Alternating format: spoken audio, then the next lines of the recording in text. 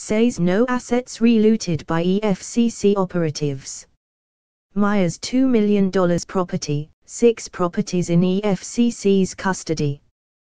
The Economic and Financial Crimes Commission, EFCC's, acting chairman Ibrahim Magu confirmed yesterday that over N2.8 billion was recovered from suspected pension thieves in the office of the head of the Civil Service of the Federation and Police Pension Office. The cash component excludes many choice assets placed either under permanent or interim forfeiture by courts. Besides, he insisted that none of the assets seized by the EFCC was relooted by the operatives of the Commission under any guise.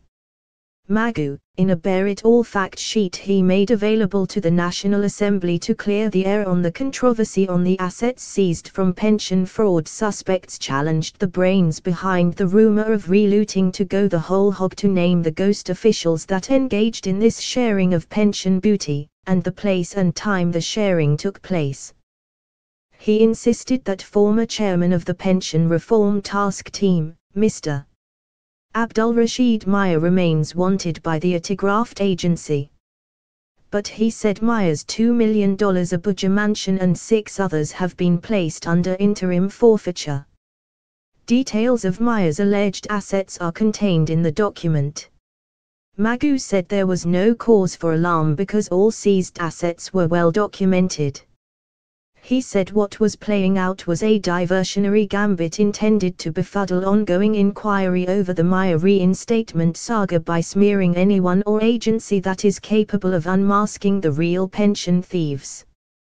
Magu said, the suspects investigated in the police pension fraud from whom assets were seized, include, Atiku Kigo, S.A. Dagaba, Ahmed Ayuwawada, Veronica Onyegbula, Uzoma Cyril Attang, Sehabila Zura, John Yusuf and their associated companies and persons.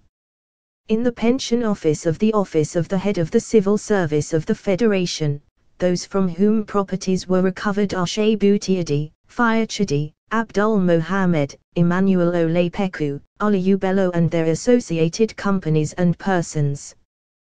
The assets seized from these suspects are in two categories there are assets that are under interim forfeiture which means that they are temporarily seized pending the determination of the substantive cases in court. Such assets cannot be dissipated because the cases are pending in court. The reality is, most of the assets recovered from pension fraud suspects belong in this category.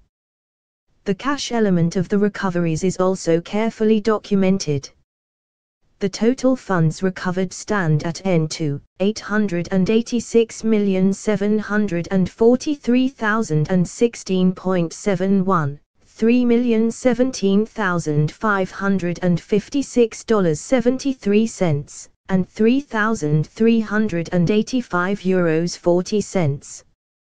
The sum of N16, 185,131,847.09 which was recovered from an illegal account in an old generation bank has since been remitted to the office of the head of service, while N369 558,640.99 represents the cash component of John Yusuf's final forfeiture there is no opacity regarding the Commission's handling of the assets recovered from suspects of pension fraud.